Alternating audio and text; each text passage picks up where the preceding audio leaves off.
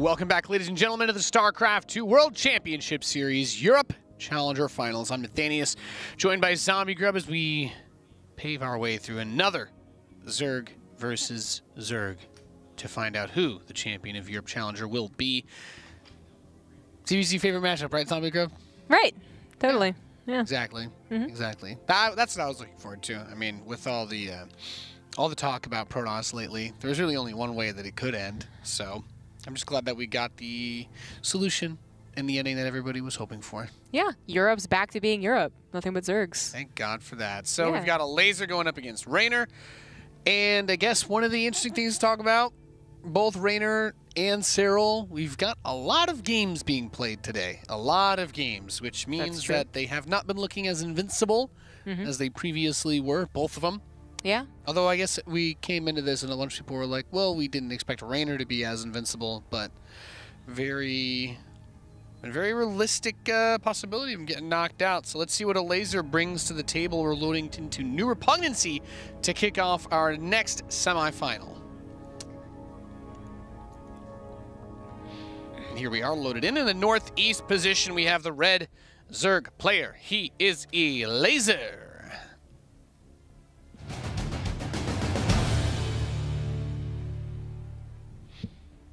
In the bottom left, as the blue Zerg, he is Reynor.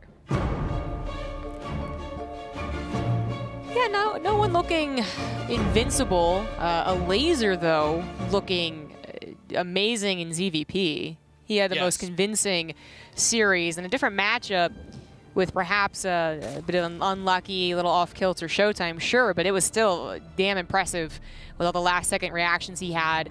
Pretty much perfect defense if even his macro was a little off or his or his build order didn't work out. We started off today on this map in that ZVP, and uh, Elazer's. Well, actually, I started off the day, I should say, with Elazer's Nidus worm not really working, and he still was able to to come back. So he's really showing some, just, uh, I mean, good reactions, good last second uh, emergency mode, emergency maintenance. And Reynor is a lot about poking holes in that defense, finding places that you slip up so that you slip up even bigger later on. And perhaps Elazer is going to do better against that style this time around. The last two times these guys have played, uh, Elazer did lose both series, but they actually don't play that often. Um, the previous two sets were some years ago, which Really? Elazer was winning. Yeah, The last time they played- was like a long time ago? no, Like no, that? no. They last time they played was like some one of the challengers this year. But I'm saying like if of four series, I think that's spread out over like two years, something Okay. like that. okay. Yeah, So yeah, go. they haven't played a ton then. No. right. It's interesting to think about because if you go just off of the results, uh, is the most dominant player going into this uh, round of four. And uh, yeah, we saw really, really good decision making, really good engagements too. Was able to force some really good opportunities to get big fights against Showtime in their match earlier today. So Elazer should be coming into the series with some confidence.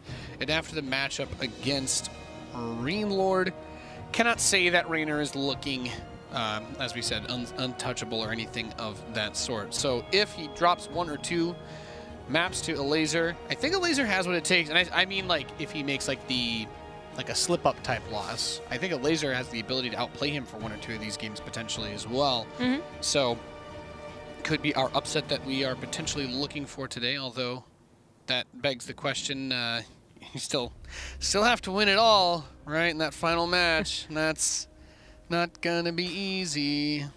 No, no, it isn't for either one of these players. While Reynor has, you know, made the god bleed, he hasn't actually. Well, I mean, he did. He did literally beat him in winter. So I was, I was thinking more about last year, but it's not super consistently. And the last time they played, Serral definitely got his revenge for that. Yes, he did. So it will be a tough one, but it will be the same matchup. Getting in that headspace. Currently, we have both of them going for the third hatch. Bailey Nest, but Reynor. A lot of lane- pedal Yes. and metal on the Zerglings for Reynor. Yep, yep, yep. He will be forcing out more lings from Elazer. Wow, laser speed was quite later than I expected, but it is, uh, you know, going to finish for the fight. It's just that he won't have many lings to defend with. Yeah, Reynor's got his uh his Baneliness about to finish too. And he is he's got wow, how many is this? 28 Ooh, that's Zerglings. 28 lings going across the map. There is only two Banelings basically to defend for Elazer. He only has five lings. that's dead. His one Bane does nothing. that was uh, that that's a dead hatchery right there. Yes, that was easy peasy lemon squeezy. Reynor did cut perhaps faster on the drones and say like Serral, and he did make more lings than say Serral, who was doing those attacks to Lambo last series, but. Um, still getting such an easy snipe on that third was certainly not what Elazer had in you know his plans for this first game. No. It's not necessarily the end of the world if he could uh, threaten Reynor and keep his drone count low uh, for a little while, but if Reynor just takes his opportunity and, and, continues to drone, drone, drone, obviously his droning is going to be more efficient. The third hatchery up and available, and Elazer will ultimately fall behind. Yeah, Roach Warren's going to boot up for Elazer. And Reynor's just cranking the drones out like we were talking about. Really nice to be able to grab that base snipe. Uh, he already had his own third done. Of course, it's difficult to get the drones onto all of those expansions.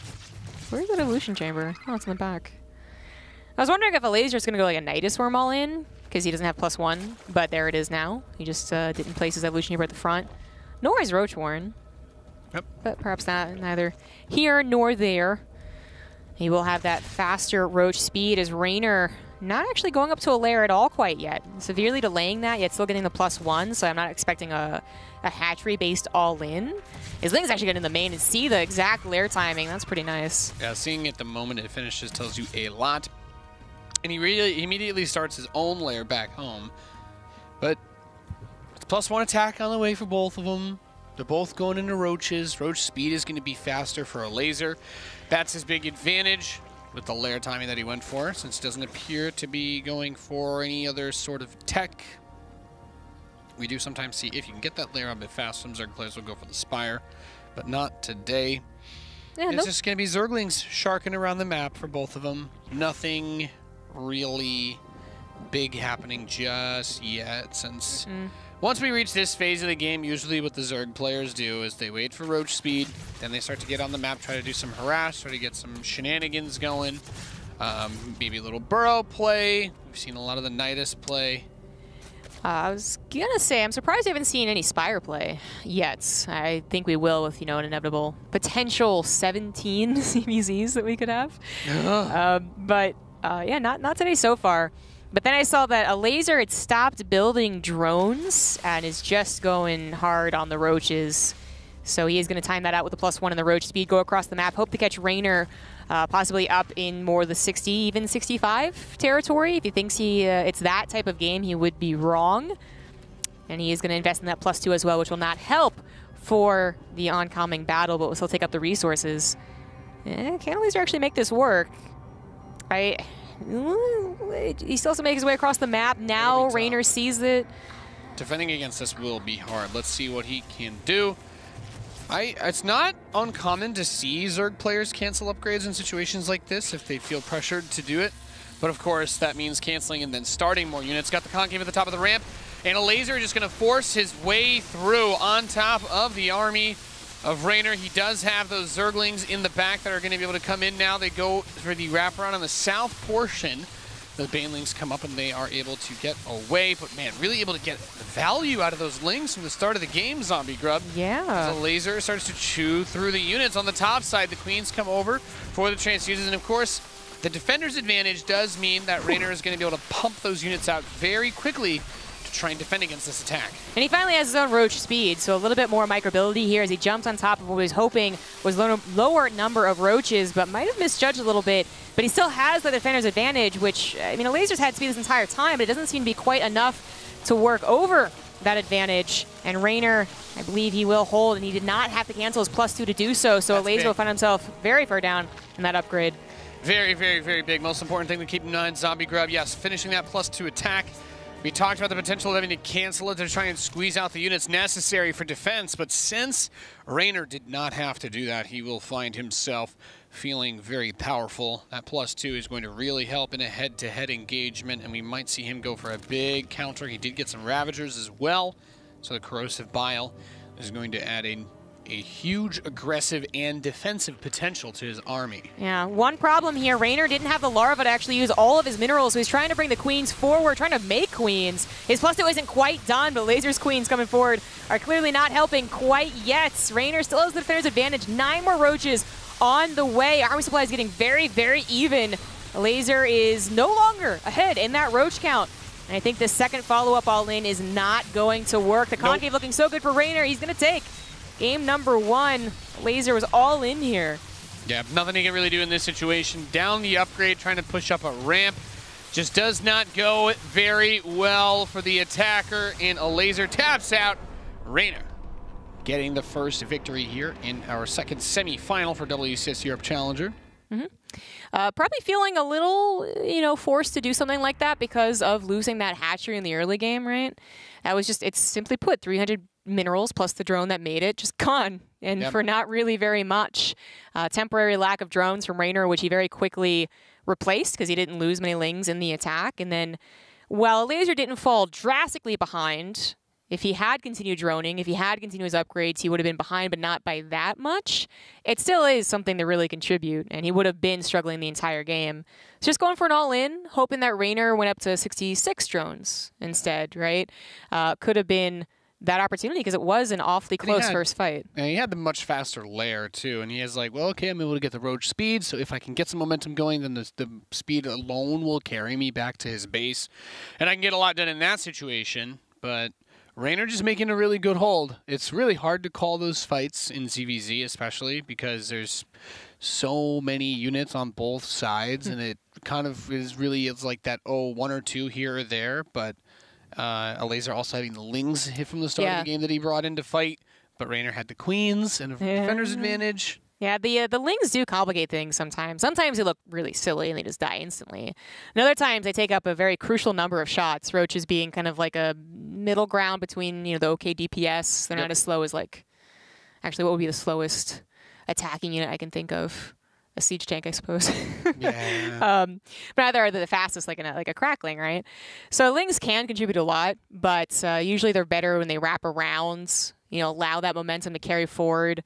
That's why you see these guys pounce on those roaches and try and get the victory nice and nice and clean because they know defender's advantage will eventually kick in. It was so close to happening for Elazer. I really I liked the idea.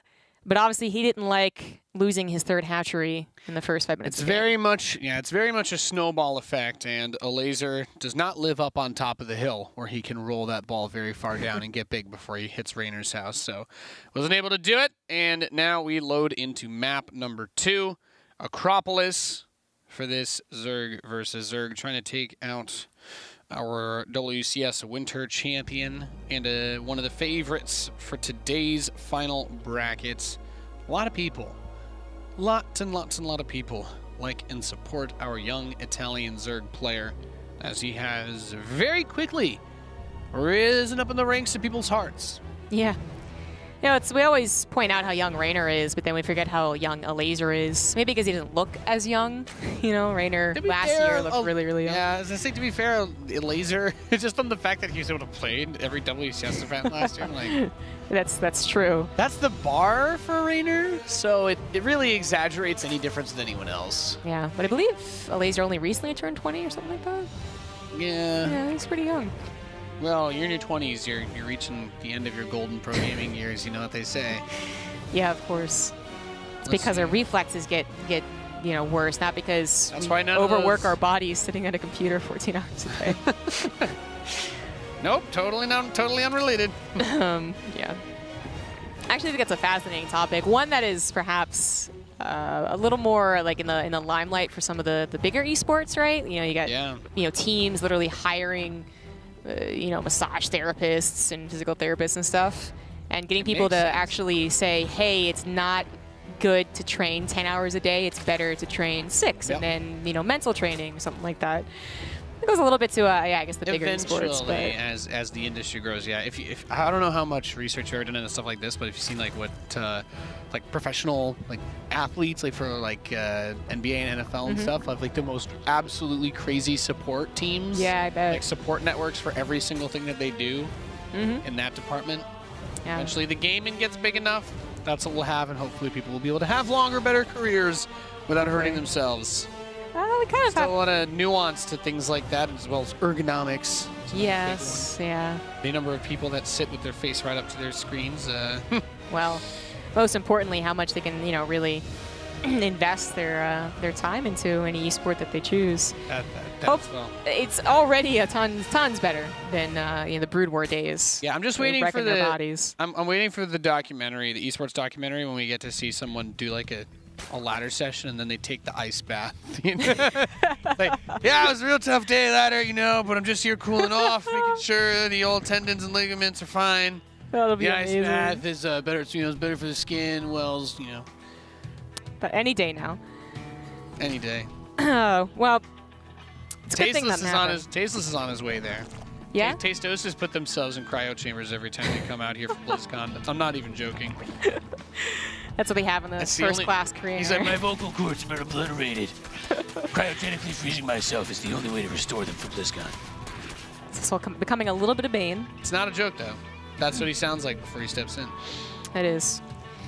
Oh, we do have uh, Baneling nests on the way for both parties, but already, a, I guess, a slight lead here for Elazer, but he is now pumping out those lings. A Reynor changing things up by going for plus one melee. And one of the reasons that we really loved watching Reynor versus any other Zerg, especially Serral, is that there is such a diverse mix of builds and styles. This is going to look like a plus one missile for some time to Elazer until he realizes, like, hey, there's no Roach Warren. There's, uh, there's no roaches at all. Nope. So when you make this investment into that early melee, of course, that money comes from other things that you could have been doing, you could have been trying to do in terms of getting units out, things like Banelings, since it is going to cost you that minerals and the gas. ZVZ, very much so, very delicate balance of choices. More so than any of the other matchups due to the larva mechanic. Yep, choosing whether to make army or drones, literally life or death. It's tough, but in this case, Reynor is choosing to go all lings, all army, down 10 drones, very much so on purpose. Now, he didn't go for plus one carapace, which we hopefully by this point all know means that you can take another Baneling hit to the face, but still leaves your lings very, very weak. Instead, it's the plus one melee, so he's going to have to be still very careful against Elazer's Banelings. I'd say best case scenario for something like this is that they didn't go Banelings at all. Yes. That is something to, uh, that's a, a little bit But, reaching there to hope for. Yeah, a Zerg not building a Baneling nest in ZVZ is just asking for it. So he's going to test the ramp.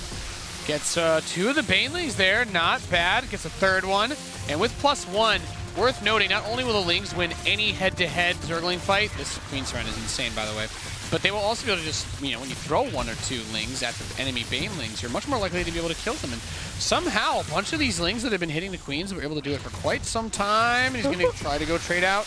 You have to be really careful. Two Banelings will kill any other Banelings within range of them. So Reynor says, all right, I've got to force one of Banes. As long as I can force this into a Ling versus Ling fight, my Lings will win because they have that plus one melee upgrade now. And Elazer just has a single Baneling. I am not even sure where that is. It may not matter as Reynor is starting to rip and tear his way through the opposing forces. GG. That plus one melee attack. Nice. Nice meme. Fairly quick 2-0. Um, not too surprising. I was literally saying before we, we you know came live that with Reynor it could go really short Yes. or it could go really long because they just both like you know ping pong back each game. But so far, all in Reynor's lead. Elazer, it's it's just so difficult to if you don't know it's on the way to match the ling count already is difficult. But then their lings are inherently better, so you really want to over prep banelings. You hopefully have maybe even a couple extra uh, queens to help out target fire their own banelings, making yours more effective. And he just wasn't.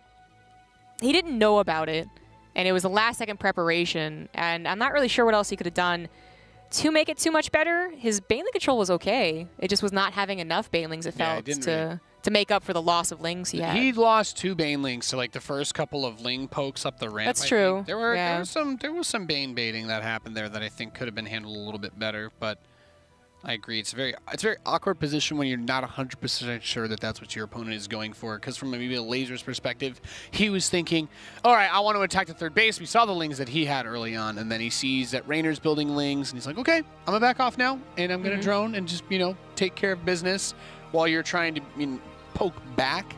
But he wasn't just poking back; he was He was- swinging the bat about as hard as he could.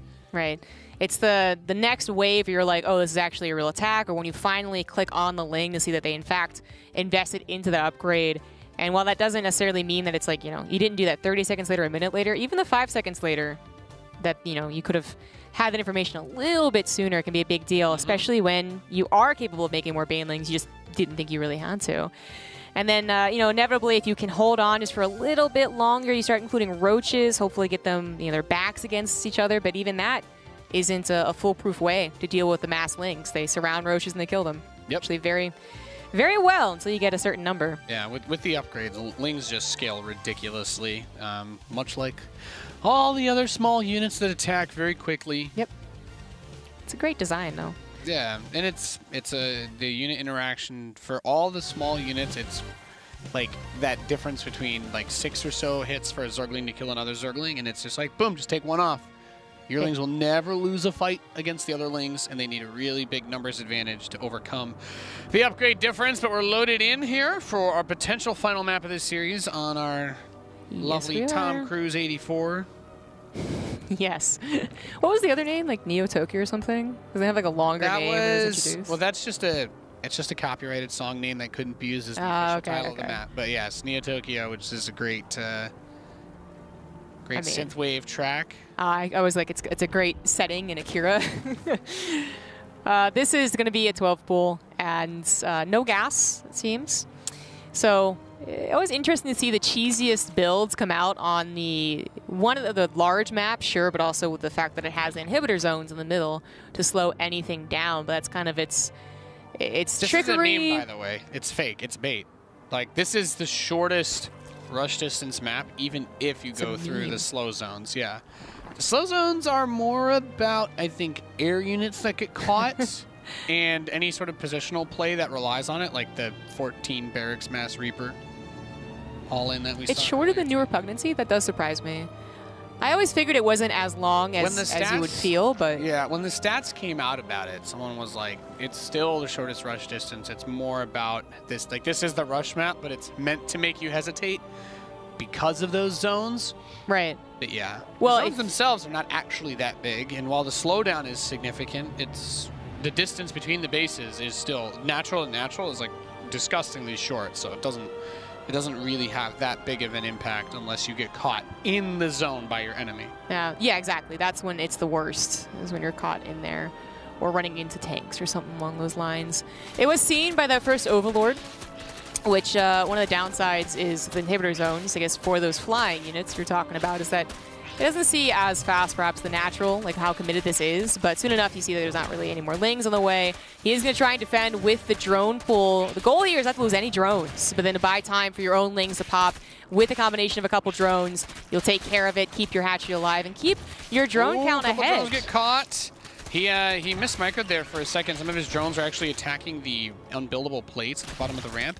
But then two more lings show up for Reynor and Elazer's uh, forces are it's becoming a little bit questionable.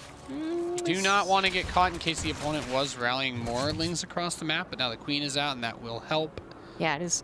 His Going- Overlord eventually made it to that hatchery and saw that it was Yeah. not super committed, plus didn't see any more lings. Actually, a little too forward into that hatchery. It's going to lose a lot of health to that queen. Yeah. That was a successful hold, though. Elazer, again, a ideal situation. You don't, you don't lose any drones, but that's a very hard thing to do. Ooh, that Overlord got much bigger than I thought The it would. scenario when Zerg players are mad about the 40 Overlord speed buffs that have happened. uh, but yeah, just losing two drones is also pretty good. He It means he did keep his drone lead, although, course, he wasn't mining with it the entire time. And now the uh, lead is going to continue with five more drones popping out. Earlier evolution chamber for Elazer, really early. Probably looking towards the similar plus one to Reynor's last game. Reynor is not going for his own drones for a reason. He's going for a lot of lings. This time, no, they don't have speed. I was No, like, I just kind of assumed, speed. but he never got the gases, so he is just going to go for a slow ling all in. He seems to have, yeah, for some reason, he now believes that a slow ling all in is going to be enough, and he's not wrong. yeah. There's, there's no speed or Baneling Nest for Elazer. He's getting Carapace, but he's, I mean, that upgrade takes a while. So, and now he starts Ling speed, and all of these things actually, I guess, hurt him in the long run, right? Because he won't, This is so none of it should be done by the time this attack hits, and he has no idea it's coming. Yeah. Well, the, the one Overlord that was really on Reynor's side of the map was was clearly pushed off to the left. And while it maybe could have swung around, that's actually something that Reynor would have noticed with his own Overlords. But he doesn't even go through the middle of the map. He's going to keep it even more secret. so that middle Overlord of Elazer won't see it. It won't be until he's already on top of the third hatchery that the Lings will be revealed, and they're just, eh, they're not even gonna go after the third hatchery, they're gonna go right for the natural.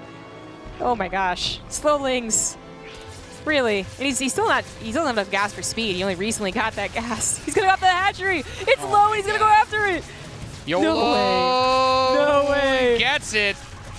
Oh, oh no. I mean, you might see an attempt to Baneling, you know, a couple Banelings on there when they follow up with an attack, or or with Speedlings, they try and dart in I and just- grab that low hatchery. But slow Speedlings, slow, I, uh, well, blah, I slow don't Lings. know how I feel about that. I, the I don't know. Carapace either. upgrade's about to finish too, so the Lings for Elazer will just I- be better. Reynor's not even going for a Baneling nest. Again, the Carapace would mean that they negate one Baneling, but they still get very, very weak afterwards, and hopefully you just have a second Baneling available. No Banelings for Reynor. just Yeah. slow Lings here. But a decent number of them still. So Reynor with the meme build. I don't know how I feel about it. These Lings are going to come up. They're going to fight. It's going to be awkward. The Queen's basically just using their range trying to try and bully them back. Does pop a few transfuses, and I guess the effectiveness of this, I don't know how I feel, because like he just moved the drone straight to the third that was about to finish. So it's not like his mining was delayed by too much. But Reynor does have this, the army supply advantage, even with the weaker Zerglings. So yeah, And- at least he made them. I can feel Johan Merlo warging into me to say Luca di Supai. And I'm like, okay, Johan. Okay. He's got more army. He's not behind really on drones. Those la last couple workers only just finished for Elazer. Yeah. Yeah, I almost, watching though that battle, I almost forgot the hatchery went down. It is finally, The fact he's getting so many. Zerglings. and He's getting plus one melee as well.